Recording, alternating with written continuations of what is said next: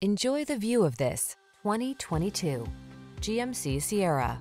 Here's a good-looking Sierra that offers impressive towing and hauling capacity and a spacious cabin with amenities like standard touchscreen infotainment and smartphone integration.